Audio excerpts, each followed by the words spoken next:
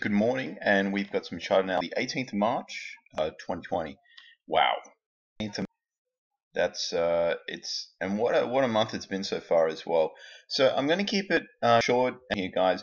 I didn't actually catch uh, any trades yesterday. I had a few other things going on, you know, as well as Monday. To be honest, um, I do apologize for not putting out a video earlier you seen my Instagram and I shared YouTube channel. I actually make the videos um, for that channel as well. So feel free to check that out. It's it's I make the videos according to the uh, directions, but you know it's it's it is uh, it's a support and resistance as well. So purely technical though. I mean, I would say I incorporate fundamentals into my trading in regards to you know like a catalyst uh, and and that sort of thing in regards to you know when I get into a position. I'm I'm not oblivious to fundamentals, but I would say I look at the technicals quite strongly.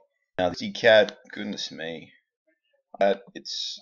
I think I might have mentioned this in regards to if, if it's 72 hours or longer. Well, after 72 hours, if the gap hasn't closed, it's going to continue higher, and, and it certainly has. Um, goodness me, let's see what it's been doing intraday. It's, uh, I mean, it has been a little choppy, but it's uh, it's looking pretty good here. In regards to this though, it well immediately you look at that and you're just like, well, it's very steep, it's aggressive, it's probably overbought. Um, I mean, the entries would have been around here when they when it was sort of really stagnating and in a little bit of a a cluster there, and it sort of eased off a little bit. So I'm, I'm gonna I'm gonna leave that for now. Uh, Aussie dollar I did trade this, and uh, oh my goodness. This right here is an example of letting your winners run. Um, because look at it. Goodness, I took the whole position off as well. I was just a little unsettled because I was just where it was was like an 11 year low or so, and it continues. This is from 2003 where we're at now, guys. You know, it was the very low of that candle there back in 2008 it looks like. So it's uh wow. I'd like to see a little bit of a retreat. We'll see. I mean this thing could get to 56 cents. I was talking to uh more of a higher time frame longer long holder type trader and he he mentioned that was um on his agenda. So um, that's the four hour here, guys. Uh, we'll go to the one hour to see what's happening this morning. So pretty subdued. It looks like it might be bottoming out. I'd like to see a little bit of a pullback. Um, I'd be still somewhat interested in entering this a bit later. So that's the Aussie dollar, especially with the rate cuts looming as well. And it seems for the most part the US dollar has sort of been holding up okay. Uh, speaking the US dollar, let's go to the euro here. And Let's go to the daily time frame. Yeah, wow. I think if we bring up the one hour, you see that rectangle. I was talking about taking as a breakout, and it's. I mean, it's it's been messy, but it's um it's moved pretty nicely actually. So I didn't take that trade unfortunately, but um, I just wanted that that's the context of that rectangle there. I, I did it on an hourly time frame. Actually, you can see it on the four hour. That's sort of what I was. It was sort of boxed up, and but that's as simple as that as a potential strategy idea. And I've traded this sort of thing before. Um, I'm going to leave that. Let's go to the let's go to gold actually. See what gold's doing. I like to keep them to about five minutes. Gold has wow. What was the low there? It's just loading up here.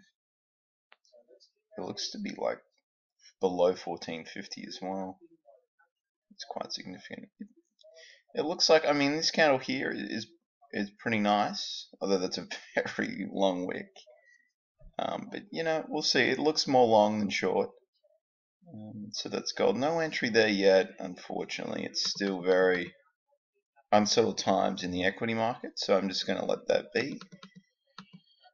Um, Let's have a look at the pound here. Is it the USD yen? Alright, USD yen. So, just looking that right now, I'd like to go to the four hour.